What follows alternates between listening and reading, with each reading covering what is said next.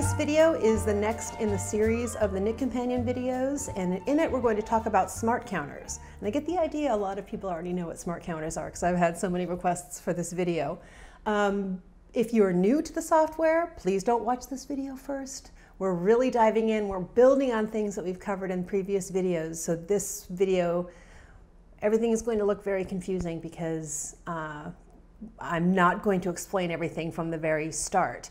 So go to the knitCompanion playlist. You can click the little I in the upper right hand corner, or I'll put it in the video description field below, and start with the first videos. And if you're brand new to knitCompanion, you can visit the App Store for your touchscreen device, either Android or Apple, and look for knitCompanion, one word, and you can download the free version of the app. The free version has a ton of features that you're going to use all the time, like interacting with your PDFs and using the simple counters and using the highlighter bar to keep track of where you are, the stuff that we use all the time. So in this video, we are going to um, talk about smart counters. They have a lot to do with linked counters that we covered in the, uh, in the last video. Uh, they're very similar to linked counters that way. Um, and in, in these videos, we keep getting deeper and deeper and discovering more and more features and the more you practice it, of course, everything just gets a lot easier.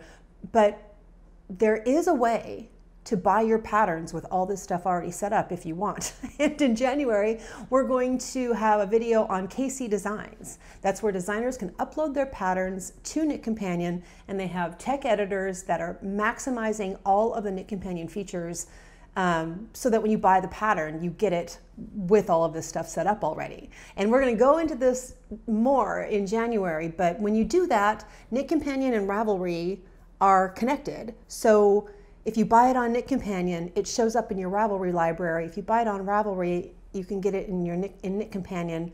Um, I'll know, I don't even know all the details about this yet. That's uh, I just know it's pretty cool. Someone's setting all this stuff up already for you. Um, but that's uh, something you might want to check out. I'll give a link to kCDesigns and you can browse the patterns that are already in that catalog. I'll give that in the video description field below and on my website. So let's go ahead and start talking about smart counters because I think the biggest thing with smart counters isn't like getting into the software and figure and, and setting it up. I think the biggest thing is like getting your mind around how it's different from linked counters and the how the software is going to work for you with this, right? Like getting your mind around the whole thing, I think, is the most the not, the hardest part. Yeah, but I'm going to explain it. I'll make it easy for you. I'll do my best. So last video in linked counters, that is a way to link up different counters when you have a pattern with the words at the same time, right? So you're knitting along with your sweater or whatever, and you're also doing waist shaping and you're also doing buttonholes. You have some, your pattern would require you to have three counters going, right? For the waist shaping, for the, for the um, sweater knitting, and for the um, buttonholes. I have to remember what my examples are. so that was linked counters. And linked counters and smart counters do the same at the same time work for you. But here's the difference. This is breaking it down in simple terms.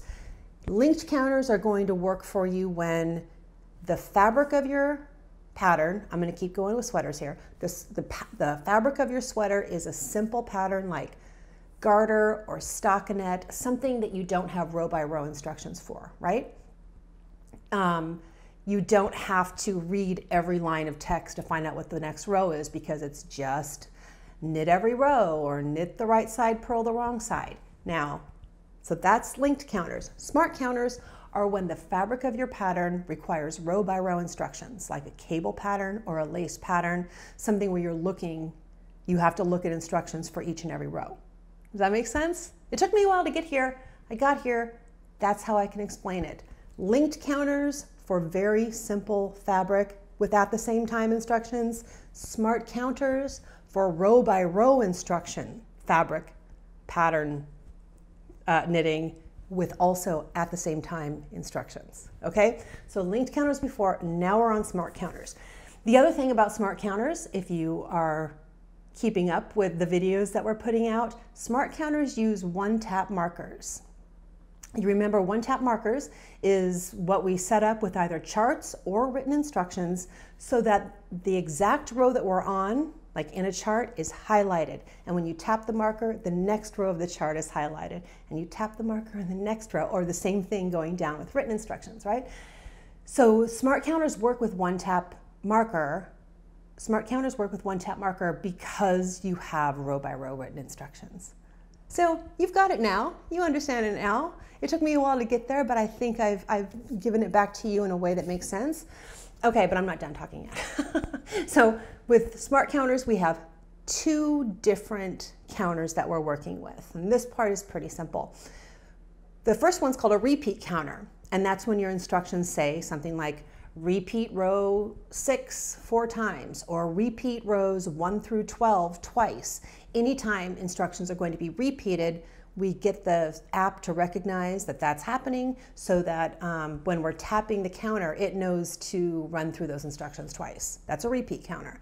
And then a shaping counter is used for really anything else. It's called a shaping counter, but it's used for uh, increases, decreases for waist or bust or whatever else, uh, placing buttonholes, again, changing colors, really anything that isn't a repeat, you know, something that requires a bit more instructions. So we have those two kinds of, um, of smart counters. Let me make sure I'm not missing anything because I don't want to get in here and then have part of it be confusing. And I think I've got all of it. So when you're working with smart counters, you tap the counter once, all of your counters advance at once. The reminders that you need for each row advance. And if you make a mistake and you have to frog back and unknit some rows, when you work backwards, all of your counters go backwards too.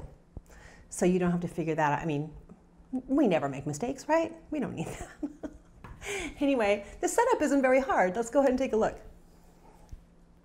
Okay, here we are in the software. I am in a sweater pattern right now, and I'm going to set up both different kinds of, of uh, smart counters. So first thing I'm going to do is go over here to this text. And I have this set up already with one tap markers. So as I tap through, the row I'm on is highlighted. And be sure to watch those videos that I link to um, to get that set up. But for now, I'm going to reset this and we're going to set up smart counters on this. And the first one I'm going to use for this is a repeat counter. If you take a look, it goes row one, two, three, four, and then rows five, six, seven are all the same row. It's the same row repeated three times, five, six, seven. So I want to set this up so that when I run through these, this row is highlighted one, two, three times. Because otherwise, when I tap through, it would just go to the next one, right? So let's take a look. I'm going to go to Setup, and then a button we haven't used before, way down here, this is the Smart Counter button. And this first window we get is just an overview of the whole piece. We're not setting anything up really yet.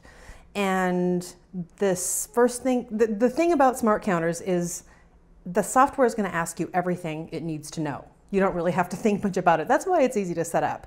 For knitting type, flat and in the round, we're going to skip that and first row direction, we're going to skip that. Those are features that are coming in knitCompanion soon, but we're not really using those yet. But we'll take a look at piece repeat limit. And in this pattern, because it's a sweater, it's most likely going to tell me to repeat these rows until I get to 10 inches, right? It's not going to tell me to repeat them twice. But if it did tell me to repeat them twice, I would put piece repeat limit at two. But because I'm knitting for 10 inches, I don't have a limit on the number of times I can knit them. I'm gonna leave that at zero. So get our, to get our repeat counter set up, I'm gonna tap the plus. Yes, tap the plus, a row repeat counter. And we've seen this before. You see that this first row is highlighted. And uh, again, I should mention, Everything I'm going to show you works in both chart and written instructions with one tap marker setup. But I'm going to show you on written instructions first. And because we read written instructions from top to bottom, we always set up our uh, smart counters from top to bottom. And because we read charts from bottom to top, that's how we set up the smart counters. So the row that I, I need to highlight the row that I want to repeat. So I'm going to drag this blue bar down and this top one I always have a hard time grabbing. There we go. I just want that row highlighted. Now keep in mind if the pattern said repeat rows two to four, you can highlight all three of those rows and that can be part of the repeat. But this case, it's just one row. So um, when I go down here, I can see that it's named row repeat. That's fine, I can leave it at that name. I can change the color if I would like, just by tapping this. And repeat how many times? This is five, six, seven, so I'm going to change this number to three. Okay, that's all set up, that's done. Let's take a look. Go back to knit. Let's see what happens when I run through this. One, two, three, four, five, and take a look. Up here above my counter, it says one of three. When I tap it again, it's two of three, three of three, and then finally it pops down to the next row because I had to repeat that three times. Isn't that great? Totally customized. So let's take a look at the other kind of um, smart counter. And for that, we'll do it in a chart. And what I'm, this is going to be a shaping counter. So we are going to, uh, well, let's take a look at our pattern. We have waist shaping and buttonholes. And that's what I want to add. I'm going to add a waist shaping uh, smart counter and a buttonhole smart counter. So let's go back to this chart and go to setup and then our smart cut uh, smart counter button down here. And again, this first window, this first thing we see is just about the whole piece. We haven't set anything up yet. I'm going to leave the piece repeat limit at zero again. Tap the plus. Yes. I've added and deleted enough of these uh, smart counters when I was practicing this for you that um, the software keeps asking me, are you sure you want to do this? Yes, I'm sure. I want to add a shaping counter. And uh, we have a little bit more to look at here because this gives us more options. First thing, of course, is we can change the color. We'll make it that. And we can rename it, and I'm going to name this waist shaping. The next thing is start either at row or manual. If you're starting at row, that means the pattern tells you exactly which row you want to start on. Manual, the pattern would be telling you to knit for, you know, five inches or something before you start. So since I know the exact row I want to start, I'll leave it on at row and change it to five. So start at row five. And then over here, under waist shaping, we can add details of the step that we're supposed to take. So tap on that. I'll leave the name step and let me take a look. We just read it, but I wrote it down so I don't have to, I don't have to flip back. I want to decrease one stitch at end of row every two rows eight times. So how often? It's every two rows, every other row. And how many times? I want to do that eight times. I could tap until if I had inches to go to, but I haven't, uh, how many times. And then I'll type the exact instructions here so I don't have to flip back in the pattern. It's all right here for me. So decrease one stitch at end of row. I'm done there. That is good. Let's see what happens now. Go back to knit. So row one, two, three, four, five. Look, popped up on row five. Here are my instructions. Waist shaping, decrease one stitch at end of row. Now, here's a cool thing. this is a very cool feature. If I tap to try to get past, the, the, the software says, whoops, wait a minute, you didn't do your waist shaping. See this little check mark here? You have to check that off for it to actually go away so you can advance to the next row. You can't forget to work these steps. The software won't let you. When I go to row seven, it comes back up again, waist shaping, decrease one stitch at end of row, and you see right here, step repeats, I'm on two of eight. Isn't that great?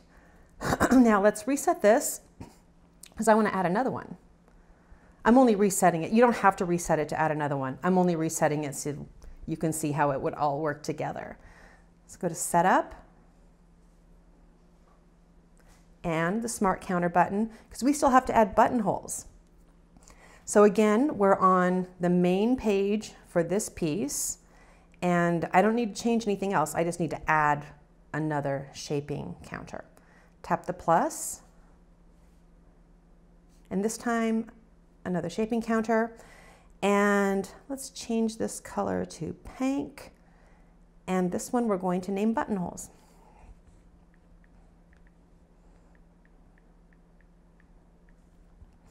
And my notes here say I want to start buttonholes at row seven.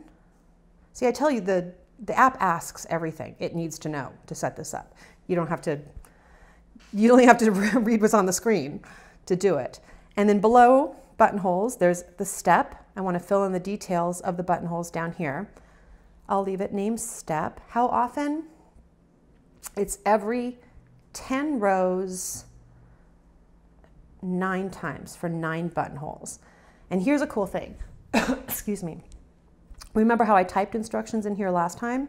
This time, I'm not going to type. I'm going to grab a piece from the pattern, that little bit of instructions from the pattern, and just pop it in there. So I'll tap piece, and we've done this before in the software, lots of times. Tap the plus, and now it's letting me pick the page where the instructions are. It's on page two. And here we are with the blue arrow telling me to highlight what I want. You can highlight it, it snaps in, you can tidy it up a bit. There we go, that looks good. The blue crop button is highlighted. I can tap that when I'm ready. That's done. Okay, I'm, I'm done with this one. So go back, go back to knit. Maybe, let's see. Let's see what happens here. Okay, fastest knitter in the world. Row one, two, three, four, five. I have waist shaping. The first of eight waist shaping, decrease one stitch at end of row. Let's say I did that. Six, seven, and look at here. Okay, I have waist shaping and buttonholes in this row. This is so great because it's all here, right here. I don't have to flip through pattern pages or anything. Everything's here for me. So waist shaping, decrease one stitch at end of row. If I tap buttonholes, there is the little bit of instructions that I grabbed from the second page of the pattern for my instructions for buttonholes. Okay, I worked my buttonhole, I worked my decrease for the waist shaping, keep going through.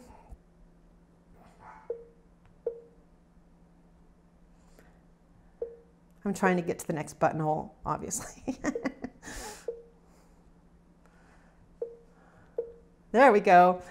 It happens again. I'm on step seven of eight for waist shaping. When I go to buttonholes, I'm on the second of nine buttonholes. My instructions are there. I'm reading my chart, knitting along. Everything's happening exactly as it's supposed to. And once I finish, um, let me check these off. Let me see how close I am to, this is the last of the waist shaping, eight of eight. And so it's not going to pop up next time. It just disappears. I'm done with that. Isn't that cool? And that's it. I hope that helps. Uh, smart counters, I'm going to be using them a lot when I have at the same time instructions. I hope you will too. Good luck.